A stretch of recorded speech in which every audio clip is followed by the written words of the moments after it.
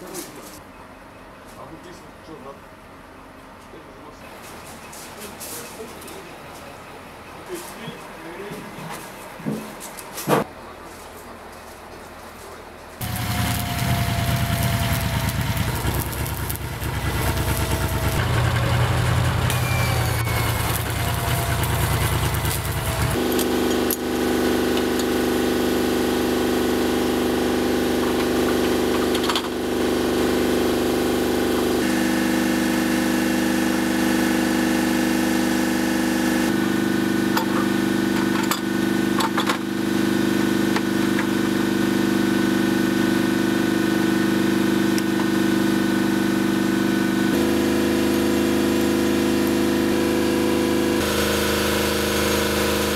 Производится эвакуация эвакуационным подразделением ремонтно-восстановительного батальона с города Душанбе и из Кургана.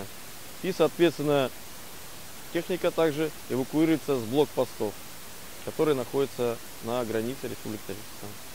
Это военнослужащие Республики Таджикистан, механики и водители, водители и наводчики находятся здесь с нами, соответственно, и также при- присутствуют в ходе проведения ремонта. Также они проходят обучение и даем им навык по проведению ремонтов вооружения и военной техники.